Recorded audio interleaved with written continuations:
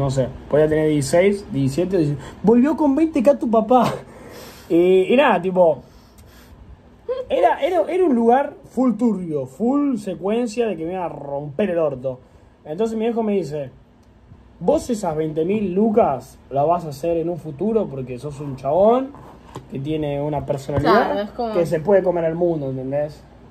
Eh, me, me dice, vos necesitas esas 20 lucas. Es mejor el orgullo, chicos, es mejor el orgullo a la plata. La plata la conseguís. Y entra. No hagan esas cosas. Ah. no. ¿en Me rompieron serio? el orto.